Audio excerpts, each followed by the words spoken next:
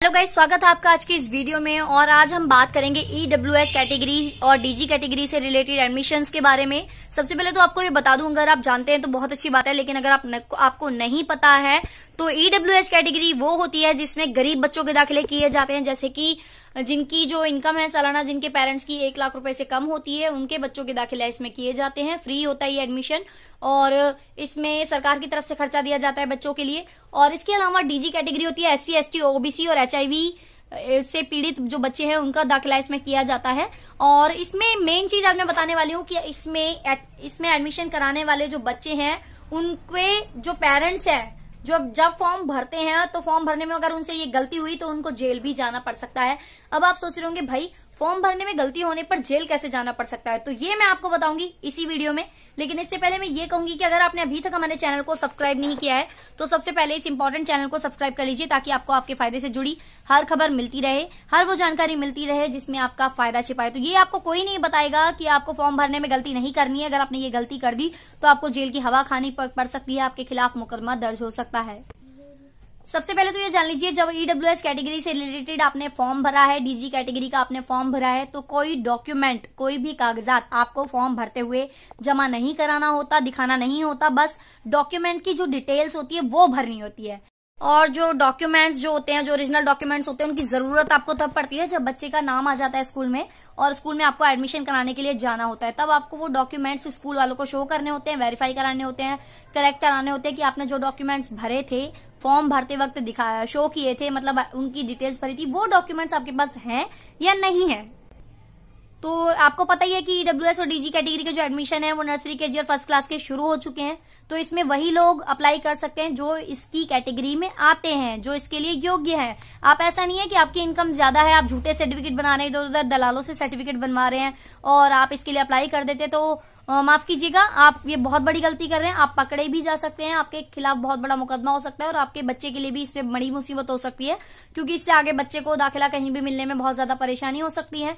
तो ऐसा काम ना करें जिससे आपके बच्चे और आपका जो फ्यूचर है वो स्पॉइल हो और आपके खिलाफ ऐसा कोई मुकदमा हो। जी, ज़रूरी। ये जो स्कीम चलाएगी, ये बेचारे उन जरूरतमंदों के लिए है, उन लोगों के लिए है जो बेचारे गरीब हैं। अगर आपके आस पड़ोस में, आपके आसपास, आप पढ़े लिखे आपको इस स्कीम के बारे में पता है तो आप इसका गलत फ़ायदा मत उठाइए।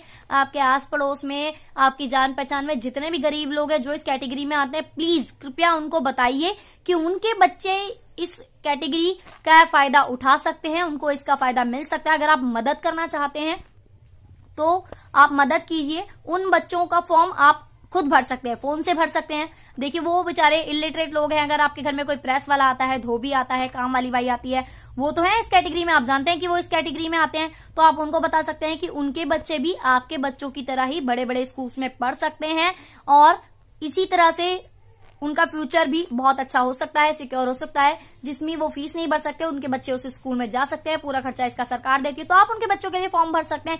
देखिए तो अगर आप किसी का भला करते हैं तो कल आपका भी भला ज़रूर होगा। ये तो आपको पता ही है ना, हमारे पेरेंट्स ने हमें शुरू से ही सिखाया होता है कि अगर आप आज किसी की हेल्प करते हो, कल आपकी भी ज़रूर कोई हेल्प करेगा।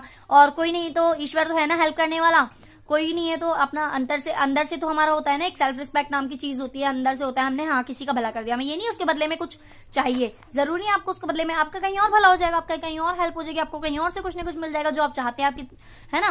तो आप गरीबों की हेल्प कर सकते हैं, आप ऐसा काम मत कीजिए जिससे आपका नुकसान हो, आप फ्रॉड के चक्कर में मत पड़िए, दूसरों को भी ये सलाह मत दीजिए कि कोई फ्रॉड के थ्रू ये काम करे और नकली सर्टिफिकेट बनवाए, झूठे सर्टिफिकेट बनाए, जो इसके लायक है, कृपया उन्हीं की हेल्प कीजिए। क्योंकि आप जानते ही हैं कि अगर आप इसमें गलत जानकारी भरते हैं और एडमिशन के वक्त वो डॉक्यूमेंट्स नहीं पाए जाए तो जाते तो आपके खिलाफ क्रिमिनल केस भी दायर हो सकता है। आपको बता दें कि 2016 में ऐसे ही एक रैकेट का भंडाफोड़ किया था और किया गया था जिसमें किसी ने किसी प्रिंसिपल और अंदर के जो लोग हैं उनकी मिली भगत से किसी ने झूठे डॉक्यूमेंट्स की डिटेल्स दी थी और वैसा था नहीं वो बाद में पकड़े गए और उन, फिर उनको सामना करना पड़ा मुसीबतों का, क्योंकि फिर उनके खिलाफ केस हुआ और उनके खिलाफ याचिका दायर की गई। और सभी लोग जो इससे जुड़े हुए थे, सभी के खिलाफ क्रिमिनल केस दायर किया गया। तो प्लीज़ आप भी कोई ऐसा काम ना करें जिससे आप मुसीबत में फंसे और आपको भी इन्हीं सब मुसीबतों का सामना करना पड़े। और कोई अगर ऐसा करने जा रहा है, कोई अगर आपसे एडवाइस मांग रहा है तो उनको भी यही एडवाइस देगी कि कृपया करके ऐसा काम ना करें।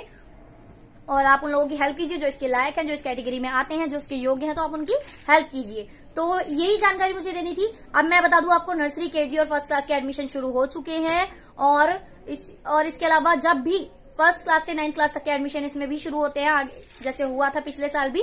तो वो जब शुरू होगी, मैं आपके लिए इन्फॉर्मेशन ज़रूर लेकर आऊँगी। कुछ पूछना चाहते हैं ईडब्ल्यूएस कैटेगरी से रिलेटेड या कोई और जानकारी तो आप मुझे कमेंट बॉक्स में पूछ सकते हैं। मैं आपकी हेल्प करने की पूरी कोशिश करूँगी। अगर आपका कोई डॉक्यूमेंट नहीं बन रहा है, आपके पास कागजात पूरे हैं तो आप 1076 में दिल्ली में कॉल करके केजरीवाल की जो स्कीम है, उसका फ़ायदा उठा सकते हैं। घर बैठे डॉक्यूमेंट्स बनवा सकते हैं, लेकिन जो डॉक्यूमेंट्स वो आपको बताए जाएँगे फ़ोन पर, वो डॉक्यूमेंट्स आपके पास होने चाहिए जब फ़ोन सहायक आपके घर पर आते हैं।